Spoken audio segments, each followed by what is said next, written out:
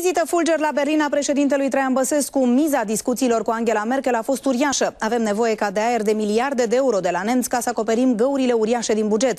Însă ne-ar prinde de minune și dacă firmele de stat românești ar fi cumpărate de companii germane. Șeful statului a pus și problema delicată a băncilor străine care și-ar putea scoate banii de la noi chiar acum când alți nori negri se adună peste Europa. Cancelarul a ținut să ne liniștească. Fondurile rămân acolo unde sunt.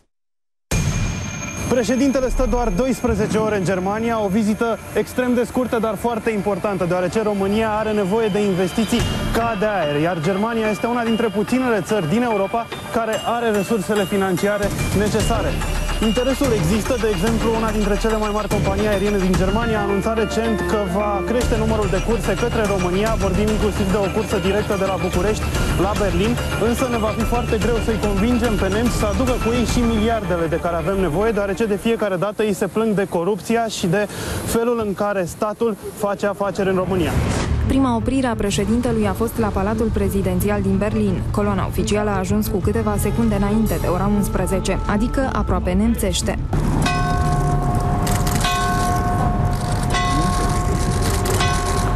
Membrii gărzii de onoare s-au mișcat ca niște mașinării.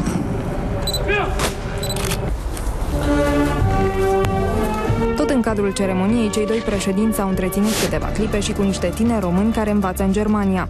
Sunteți mai mulți? Da. Dincolo de paradă și de protocol, cea mai importantă întâlnire a zilei a fost cea cu Angela Merkel. Cancelarul german a dat asigurări că va supraveghea băncile străine din România pentru că acestea să nu-și retragă banii. Und das wird sicherlich überprüft werden. Und deshalb werden wir darauf achten. Ich glaube, dass diese Absichtsbekundung erst einmal ausreicht. Es ist absolut notwendig für ein Land wie Rumänien, dass es weiter eine ordentliche Bankenversorgung hat. La sfârșitul întâlnirii, doamna cancelar a respectat protocolul la virgulă. Deși Traian Băsescu a vrut să o salute în fața pupitrului de unde au luat cuvântul, Merkel l-a îndrumat în fața steagurilor celor două state, locul stabilit pentru strângerea de mână. toate cele bune și succes.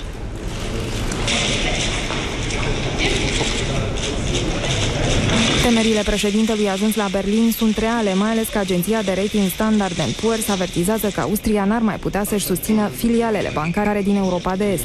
Și atunci, cu atât mai importanți, devin banii băncilor nemțești, care sunt cele mai stabile, inclusiv președintele a punctat asta. Beneficiem de multe bănci grecești, austriece, italiene, franceze, dar am vrea și o bancă germană dacă se poate. Ministerul Finanțelor va avea nevoie la anul de peste 15 miliarde de euro ca să financeze deficitul bugetar și de aceea avem nevoie de băncile germane pentru că ele sunt cele care au cei mai mulți bani în acest moment din Europa. Ne-ar prinde bine implicarea Germaniei și în marea privatizare anunțată. România a reluat procesele de privatizare vizând în mod deosebit două sectoare. Energia și transporturile. Având în vedere tradiția uh, în transporturi feroviare a Germaniei, compania de transport feroviar a României poate fi de mare interes.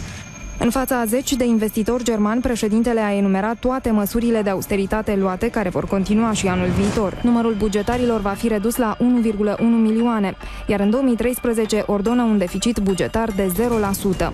Tot astăzi, șeful statului a susținut în fața doamnei Merkel că România menține termenul privind adoptarea monedei euro pentru 2015. Thank you so much. Goodbye. Thanks, Minister. Good luck. Thank you so much.